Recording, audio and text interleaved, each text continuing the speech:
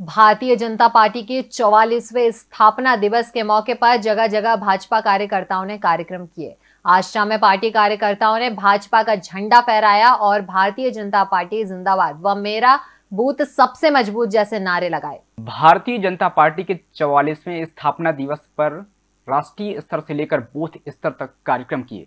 इसी कड़ी में आस्था में भी पार्टी का स्थापना दिवस मनाया गया, जहाँ कार्यकर्ताओं ने पार्टी का झंडा फहराया। साथ ही प्रधानमंत्री मोदी के संदेशों को सुना और उस पर विस्तार से चर्चा की। प्रधानमंत्री मोदी ने स्थापना दिवस के मौके पर पार्टी कार्यकर्ताओं को राष्ट्र नीति और राजनीति के साथ साथ चलने का संदेश दिया। इसके साथ ही उन्होंने परिवारवाद पर तीखा प्रहार करते हुए भाजपा को एकमात्र ऐसी पार्टी बताया जिसने परिवारवाद के खिलाफ लड़ाई लड़ी। वो खबरें जो आपके काम की है।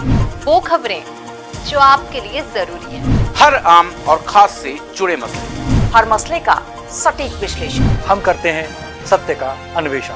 दखल न्यूज़। आपके हक में। आप देख रहे हैं दखल न्यूज़।